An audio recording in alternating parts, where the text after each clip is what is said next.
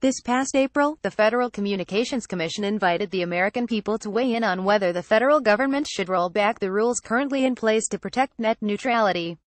By the time the online comment submission period ended last Wednesday, the agency had collected 21.9 million comments, an astounding level of participation on what at first glance appears to be a rather esoteric telecommunications policy issue. For comparison, when the FCC received around 500,000 postcards and emails about its media ownership rule changes in 2003, it was considered a big deal. Even Janet Jackson's wardrobe malfunction at the 2004 Super Bowl garnered only about 1.4 million comments.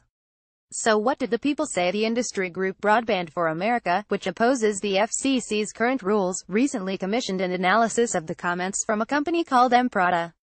The study determined that a majority of the comments about 60% favor keeping the FCC's current rules, which classify Internet service providers as Title II common carriers like mobile and landline phone companies, and ban them from blocking or interfering with lawful content. If you look only at unique comments, as opposed to form letters using boilerplate text, those in favor of keeping the Title II rules outweigh those who want to jettison the rules 1.52 million to 23,000. The only hitch the commenting process was such a debacle that the legitimacy of the entire body of comments is now in question. Many of the comments were filed with obviously bogus names. Among the more visible cases of name theft journalist and net neutrality advocate Karl Bode's identity was used without his consent for a comment favoring a rollback of the rules. FCC Chair Ajit Pai's name was used on hundreds of comments opposing his proposal, some threatening him with death or using racial slurs. John Oliver's name was used on more than 2,000 of comments as well. On a case-by-case -case basis, these forgeries are easy enough to spot but in aggregate, they're making it harder to draw conclusions about the overall public sentiment of the proceeding. Starting in May, the FCC's site was also hit with what appeared to be a spam bot submitting hundreds of thousands of anti-Title II comments with the exact same boilerplate language. ZDNet reported at the time that many of the people whose personal information was found in the spam bot comments claimed that their identities were used without their permission. What's more, analysis by former Airbnb data scientist Jeffrey Fossett found that 75.6% of a random sample of the boilerplate comments contained names and addresses also found in known spam databases. The broadband industry is now using the chaos of the comments process to claim that the public actually supports repealing Title II. Emprata, which conducted Broadband for America's analysis of the comments, found that support for Title II falls into a clear minority if you throw out all the comments that used obviously fake email addresses or invalid or duplicate physical addresses. Broadband for America is now asserting that a clear majority favors repealing Title II, and ad executive Joan Marsh echoed this conclusion in a blog post this week. There are problems with this interpretation, however.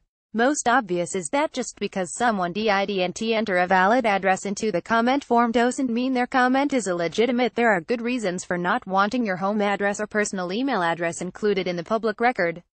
And just because a comment has a valid address doesn't mean it's a legitimate comment as noted above. Many of the comments in favor of repealing Title II appear to contain addresses harvested from spam databases. In other words, the broadband industry is claiming that comments containing stolen personal information are more legitimate than ones that oppose its own position just because the stolen addresses are valid addresses. Making the comments even harder to analyze, the FCC refuses to remove filings that use people's personal information without their permission. There are limits on the agency's ability to delete, change, or remove comments from the record. G. Patrick Webre, acting chief of the Consumer and Governmental Affairs Bureau at the FCC, wrote in a letter responding to Bode's request to have the comment that appropriated his identity removed from the FCC site. Former FCC Special Counsel Gigi Sohn disagrees with Webre. I can't imagine there is nothing they can do, and I'd love to see a citation to anything that says that they cannot remove a comment that has been proven to be fake, she tells Wired. If anything, she says, the agency might have an obligation under the Administrative Procedure Act to remove fake comments from its consideration. At a bare minimum, they should investigate these comments and if they can't actually remove the comments, they can and should disregard them as part of their consideration of record. To make matters worse, the publication Hacker Noon discovered that the system the FCC uses to allow third parties to automatically submit comments allowed anyone to upload any type of file to the FCC website including malware. The FCC declined to comment on whether its position had changed since Webre's letter, and did not respond to our request for comment on whether it would delete malware if it were discovered in the record or whether it planned to make it more difficult to upload malware in the future. Critics argue that the FCC should have done more to prevent spamming in the first place. Sohn points out that the FCC knew a tidal wave of comments would ensue once it began the net neutrality proceedings, but the agency's Information Technology Department didn't add new features, such as some sort of authentication system, to reduce spamming. Sohn and other critics suspect that stems from a lack of interest in the public comment system on Pai's part. It's hard to escape the conclusion based on Pai's behavior that he's just fine with delegitimizing the public record and making it hard to analyze, says Harold Feld of the public interest group Public Knowledge. The FCC declined to comment on the handling of the process. The breakdown of the public commenting system could give the FCC and the broadband industry grounds to claim that the public actually supports repealing Title II. But the problems with the system could also be used against the FCC if it's forced to defend its decision to reverse Title II in court, Sohn says. The FCC's failure to ensure the legitimacy of that public comment system could be a violation of the Administrative Procedure Act, which requires federal agencies to allow for public participation in regulatory decisions. The problems with the FCC's discussion system could have repercussions far beyond the current net neutrality debate. Trust in the federal government and other institutions is at an all-time low, according to research conducted by groups like Pew and Gallup. The FCC had the opportunity to engage the public on an issue that many people feel passionately about.